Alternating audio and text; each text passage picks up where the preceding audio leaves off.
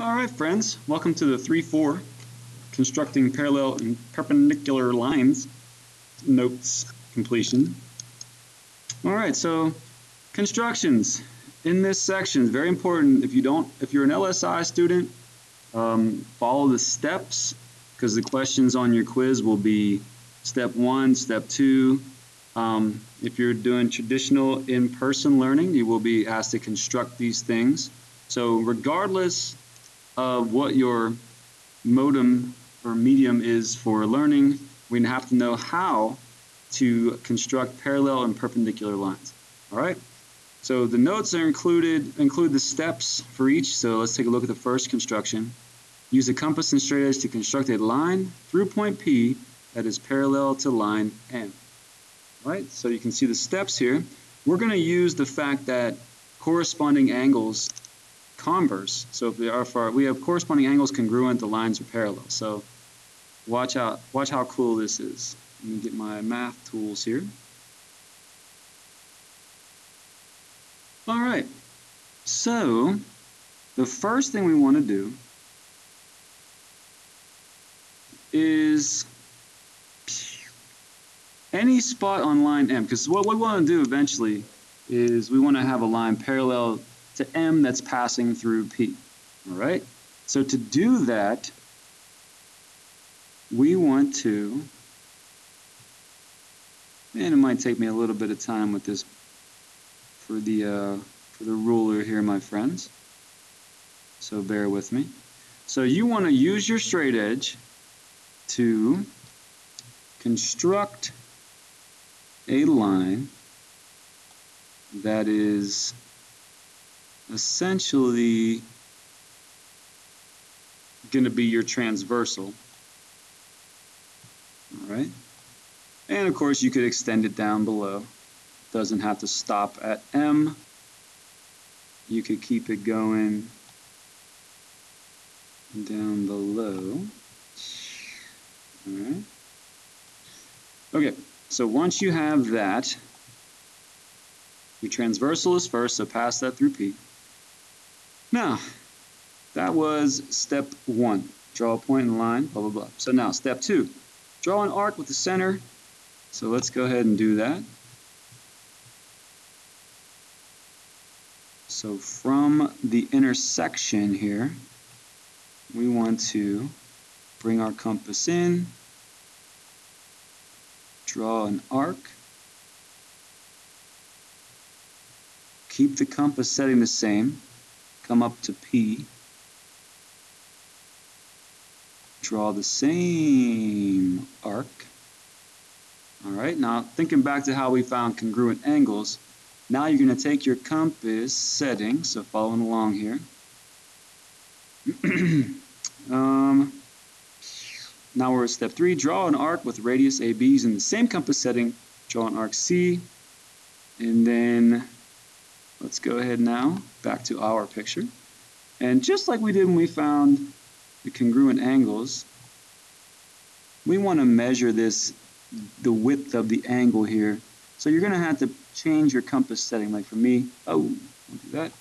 I want to widen it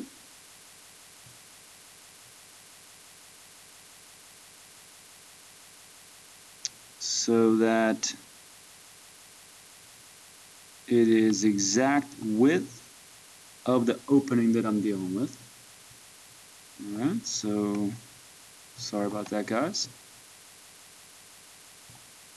And I want to make an arc. Come up here now. So again, I was here.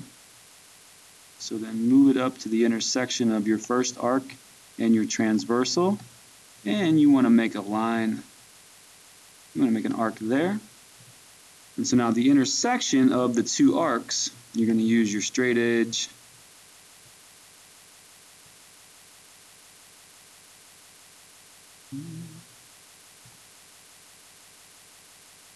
And hang on, I'm getting there.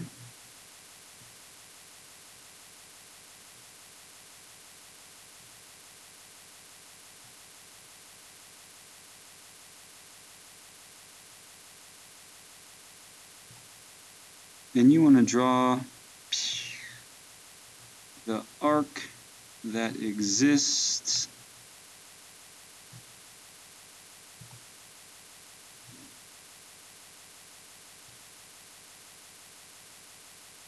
All right, so between the two arcs, and then you want to draw a line. This is obviously way easier to do in person, in class, but uh, hopefully you got the idea from the video.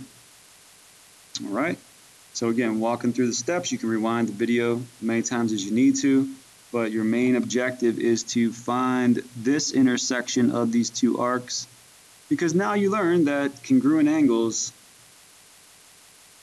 are going to yield parallel lines if they're corresponding. So you have this angle being congruent to this angle, so therefore your lines are parallel. All right.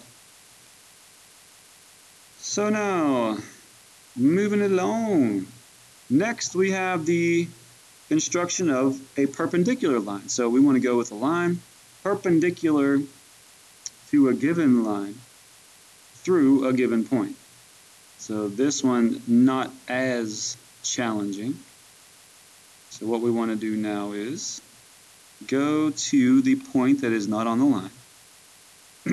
we have a perpendicular postulate, says there's exactly one line that will be perpendicular to the given line through this point. So we want to find that. So the first thing we want to do, put your compass setting on the point and draw an arc so that you, I'm a little too big on this one, so that you intersect the line below in two locations.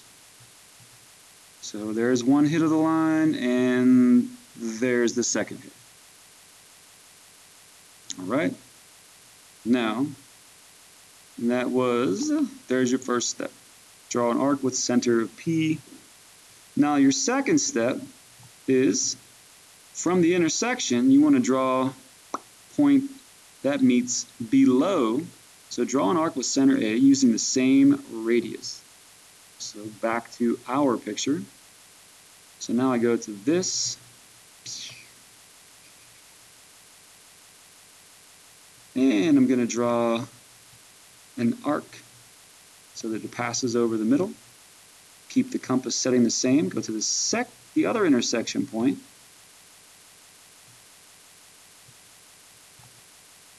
Where those hit, that's what I need. Hmm.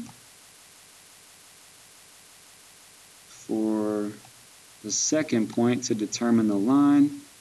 So now I'm going to draw, where is that? There we go. I'm going to spin it a little bit. And I'm going to pass through there and through there. So this is a line perpendicular to the given line passing through the given point. And again, this is the intersection that you're talking about. That's the one you want right there. So you match up the original line, original point with the point of intersection there. So again, back the video up if I lost you at any point there. And work through the steps. And the last thing is a perpendicular bisector. Again, three steps on this. So we have a segment here. We want to perpendicularly bisect this segment which of course means we're going to have a line going perpendicular through the center of it.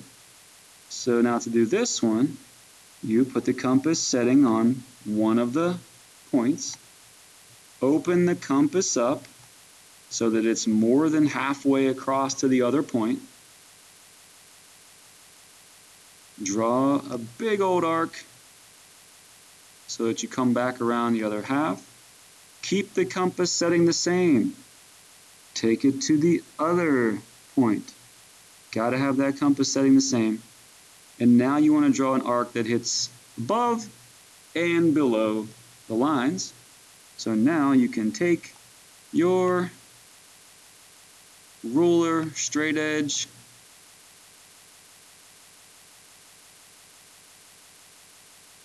and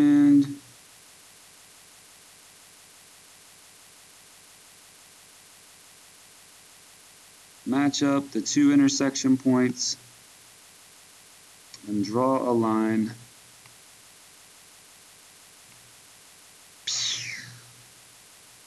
that hits both of those.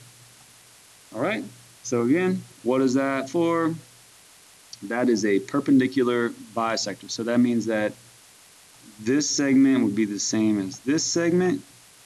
There's your intersection point. It's bisector.